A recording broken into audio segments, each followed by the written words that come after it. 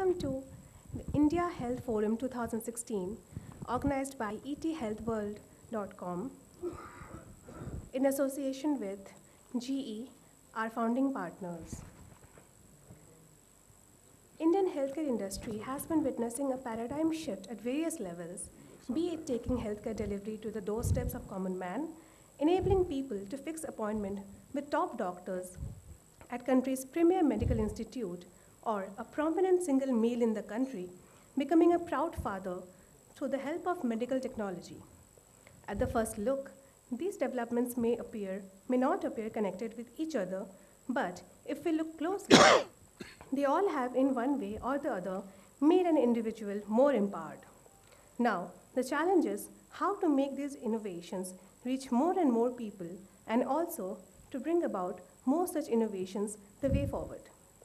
Now, I would like to call on stage Mr. T.K. Arun, editor opinion, The Economic Times, to tell us more about, the, more about today's event. Mr. Arun, please. Thank you.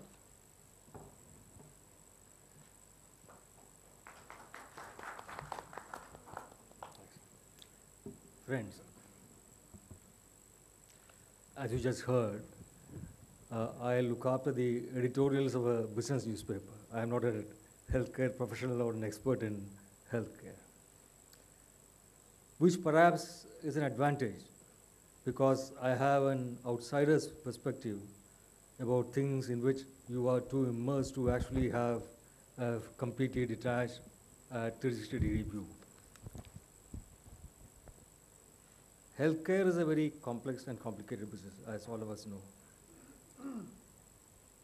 Today, newer and newer challenges are coming up relating to developments in technology and associated challenges in ethics and ethics codified into law applied through proper regulation.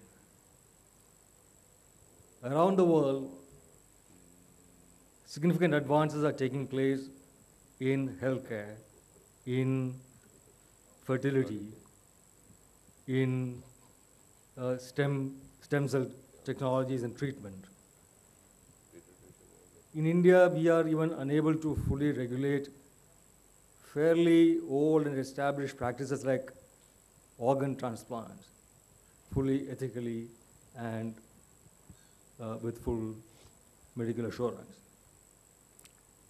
Now, these are all issues that require to be tackled.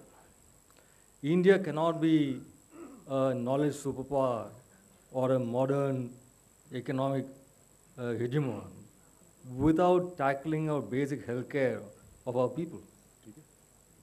Increasingly, tomorrow's world will be one where knowledge commands respect, knowledge creates value, and knowledge makes you important. And knowledge is not something that lies in the abstract. Human beings create knowledge.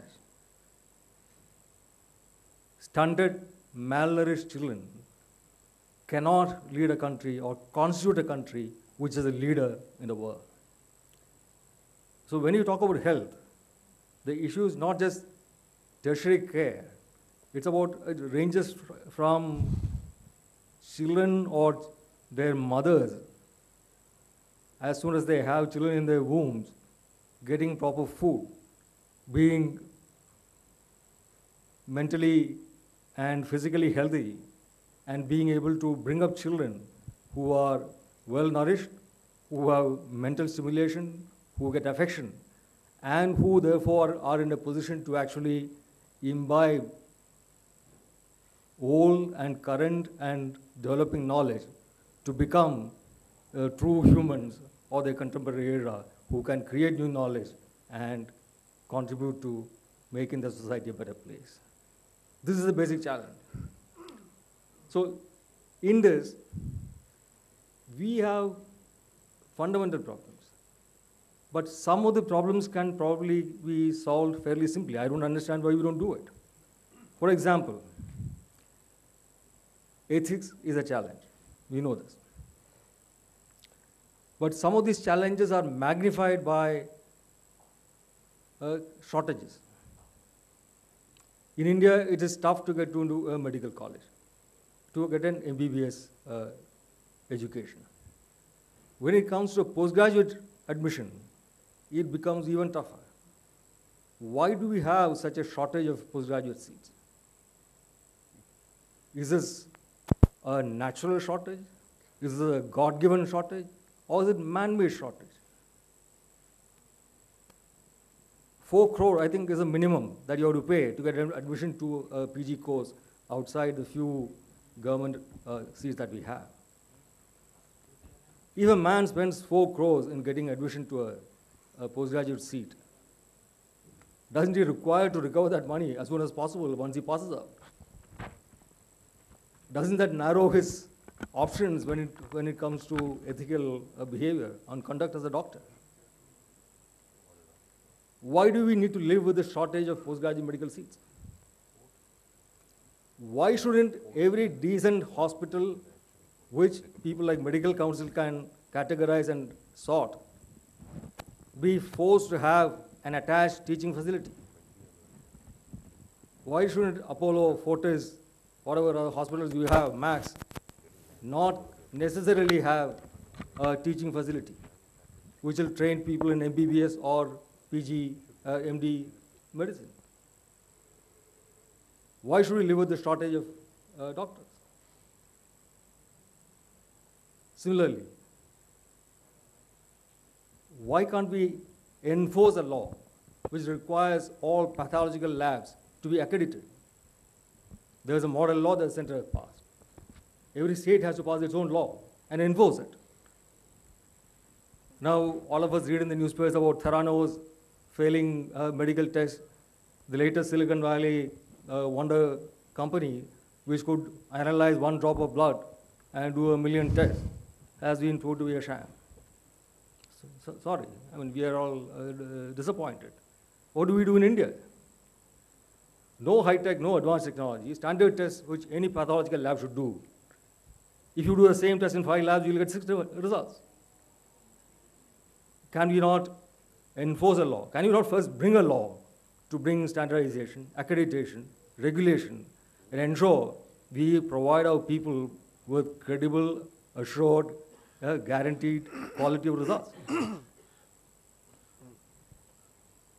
so there is an issue of regulation. There is a connected issue of ethics.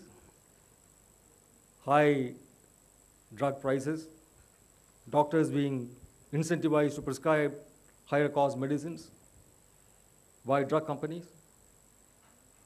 Then, on the other hand, there are people who obstruct various kinds of drug trials for no valid reasons. Our hospitals should play an important role in carrying out and facilitating drug trials of, of drugs newly created by Indian companies and foreign companies. There's a big opportunity for Indian people to be to avail of the latest uh, technological developments in curative medicine on the cheap. But people go to court uh, for introducing a pentavalent vaccine. People go to court. So there is an issue of public awareness of our legal system being in a position to actually distinguish what is science and what is uh, sheer propaganda and reach a decision fast. Our healthcare system and the problems and challenges we face are, are very, very uh, complex. And when it comes to deploying technology, uh, we have a sponsor, uh, GE, who have been uh, playing a major role in supplying medical equipment in this country. Now, if some new device and technology comes, does it require regulation? Do, do, does a hospital which deploys it run the risk of being sued because it is not being cleared by some appropriate authority? These are all gray areas. What is the obligation of an insurance company in this regard? Do we have any clarity on this? So, the number of areas where require governance clarity, legal clarity, ethical clarity, and effective regulation. These are as complex and as numerous as the actual medical uh, part of the healthcare uh, scenario. Now, there is so much to discuss, and uh, you know, so, so, so few occasions, opportunities.